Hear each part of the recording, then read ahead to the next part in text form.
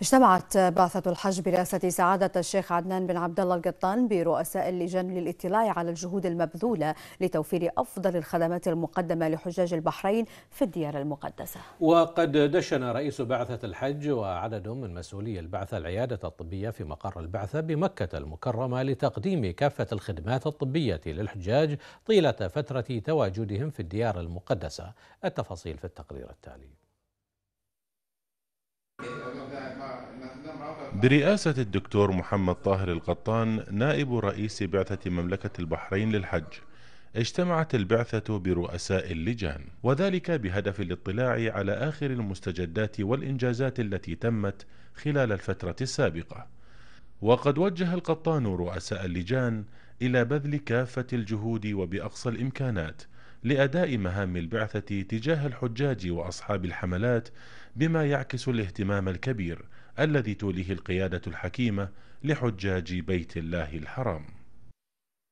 اجتماع اليوم الذي دار بين إدارة البعثة ورؤساء اللجان هو اجتماع دوري تقوم به البعثة كل عام وذلك لحاجة الوقوف على الاستعدادات لاستقبال الحجاج في المخيمات.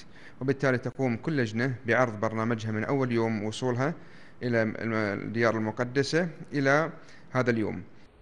وقد دشن سعادة الشيخ عدنان القطان رئيس بعثة مملكة البحرين للحج وعدد من مسؤولي البعثة العيادة الطبية في مقر البعثة بمكة المكرمة والتي بدأت تجهيزاتها قبل دخول شهر ذي الحجة.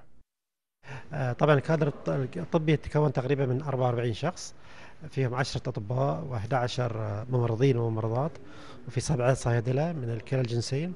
وفي كادر آه، مفتشين وأخصائيين صحة عامة وفنيين كمبيوتر ومحاسبين وطبعا الكادر الثاني. آه، طبعا بدينا نستقبل تقريبا يوميا من بدينا 30 حاج إلى 40 وصلوا تقريبا إلى 140 شخص في هالأربعة أيام.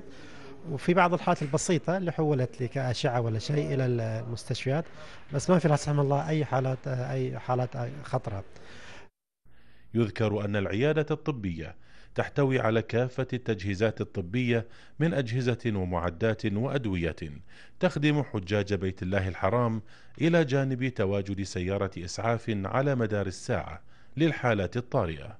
كل ذلك يتوج بجهود 44 عضوا هم الخلية النشطة للجنة الطبية ببعثة مملكة البحرين.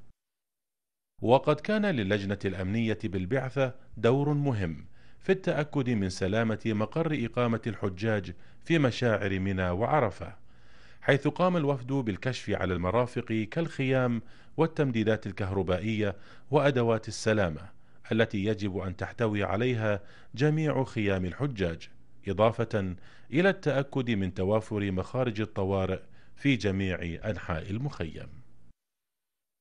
كما قام رئيس بعثة مملكة البحرين للحج وعدد من المسؤولين ووفد اللجنة الأمنية بزيارة استطلاعية لمشعر عرفات ومنى.